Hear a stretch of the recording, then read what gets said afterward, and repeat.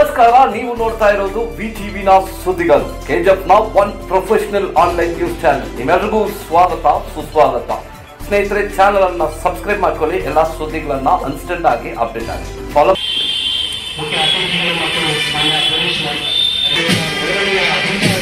ಮತ್ತು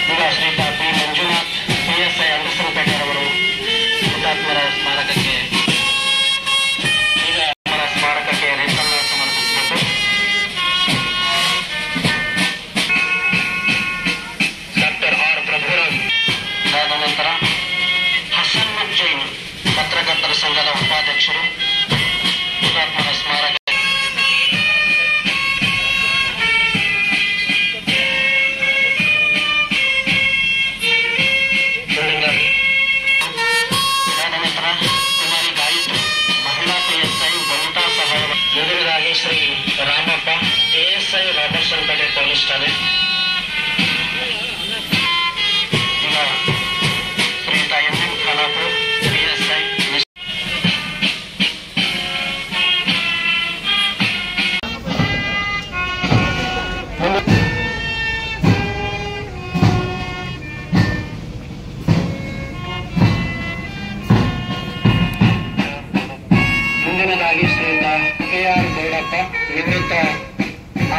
D R K G ಅವರವರಿಂದ ಹುತಾತ್ಮರ ಸ್ಮಾರಕಕ್ಕೆ ಸಮರ್ಪಣೆ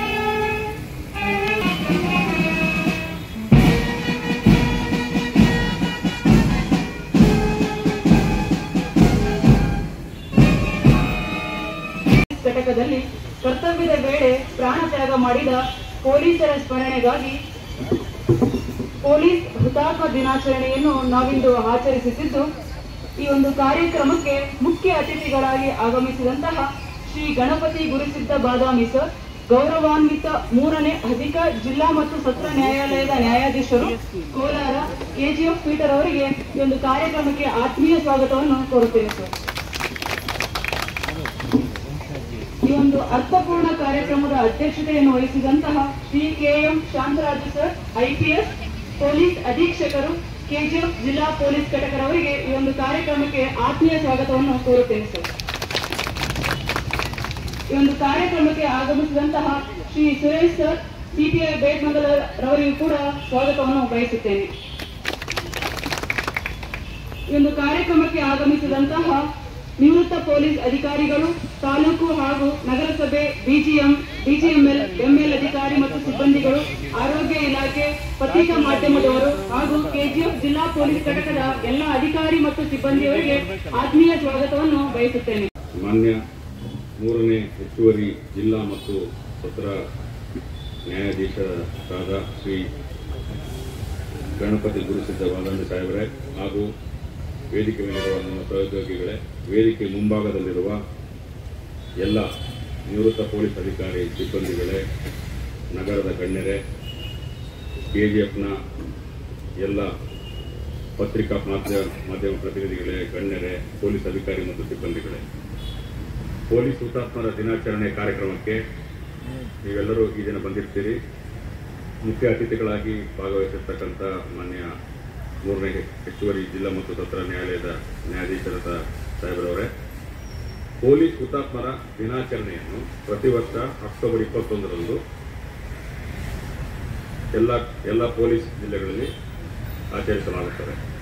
ಈ ದಿನವನ್ನು ಹುತಾತ್ಮರಾದ ಪೊಲೀಸ್ ಸಿಬ್ಬಂದಿರವರ ಸ್ಮರಣಾರ್ಥವಾಗಿ ಹಾಗೂ ದಿನಾಂಕ ಇಪ್ಪತ್ತೊಂದು ಹತ್ತು ಸಾವಿರದ ಒಂಬೈನೂರ ಐವತ್ತೊಂಬತ್ತರಂದು ನಮ್ಮ ರಾಷ್ಟ್ರದ ಗಡಿಭಾಗದಲ್ಲಿರುವ ಲಡಾಖ್ನಲ್ಲಿ ಚೀನಿಯವರಿಂದ ಹತರಾದ ಹತ್ತು ಜನ ಪೊಲೀಸ್ ಅಧಿಕಾರಿಗಳ ಸ್ಮರಣಾರ್ಥ ಅಲ್ಲದೆ ದೇಶದಲ್ಲಿ ಪ್ರಸಕ್ತ ಸಾಲಿನಲ್ಲಿ ಸಾವನ್ನಪ್ಪಿರುವ ಎಲ್ಲ ಪೊಲೀಸ್ ಅಧಿಕಾರಿ ಮತ್ತು ಸಿಬ್ಬಂದಿಗಳ ಸ್ಮರಣಾರ್ಥವಾಗಿ ಹುತಾತ್ಮರ ದಿನಾಚರಣೆಯನ್ನು ಕಳೆದ ಐವತ್ತೈದು ವರ್ಷಗಳಿಂದ ಆಚರಿಸಲಾಗುತ್ತಿದೆ.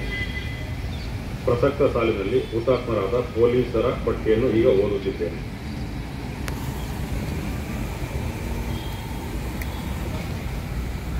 Andhra Pradesh CC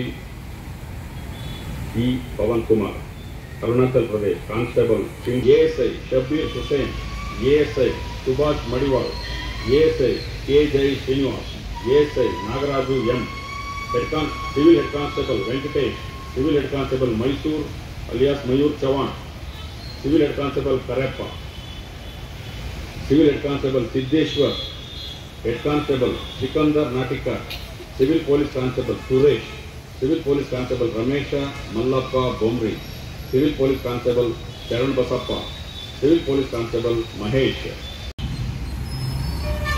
ಅವರ ಸೇವೆಯನ್ನು ಸ್ಮರಿಸು ಸ್ಮರಣೆ ಮಾಡುವುದು ಬಹಳ ಬಹಳ ಅವಶ್ಯಕತೆ ಇದೆ. ಯಾಕಂದರೆ ಅವರು ತಮ್ಮ ಸ್ವಾರ್ಥಕ್ಕೋಸ್ಕರ ಏನೂ ಮಾಡಲ್ಲ. ಅಥವಾ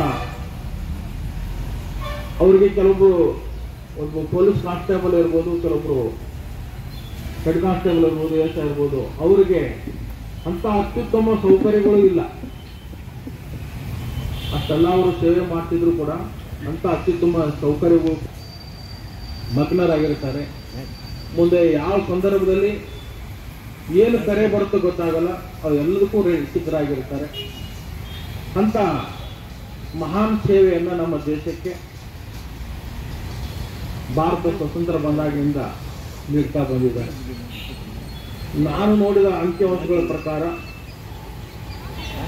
ಭಾರತ ಸ್ವತಂತ್ರ ಆದಾಗಿನಿಂದ ಅಧಿಕಾರಿ ವರ್ಗದವರು ತಮ್ಮ ಪ್ರಾಣವನ್ನು ಲೆಕ್ಕಕ್ಕೆ ತೆಗೆದುಕೊಳ್ಳದೆ ಜನರ ಸೇವೆಗಾಗಿ ತಮ್ಮ ಪ್ರಾಣ ಕೊಟ್ಟವರಂದ್ರೆ ಒಂದು ಆರೋಗ್ಯ ಇಲಾಖೆ, ಇನ್ನೊಂದು ಪೊಲೀಸ್ ಇಲಾಖೆ. ಯಾಕಂದ್ರೆ ಆ ರೋಗ ಹೇಗಿತ್ತಂದ್ರೆ ಮಾತನಾಡಿದ್ರೆ ಹರಡೋದು, ಮುಟ್ಟಿದ್ರೆ ಹರಡೋದು, ಕೆಮ್ಮಿದ್ರೆ ಹರಡೋದು. ಎಷ್ಟಂದ್ರೆ ಈಗ ಮನುಷ್ಯ ಇಲ್ಲಿ ಇದಾನ ಅಂದ್ರೆ ಅದನ್ನು ಸುತ್ತಮುತ್ತ ಎಷ್ಟು ಜನರಿಗೆ ವೈರಸ್ ಅನ್ನು ಹಂಚ್ತಾರೆ ಅನ್ನೋದನ್ನ ನಾವು ಅಂದಾಜು ಮಾಡ್ಲಿಕ್ಕೆ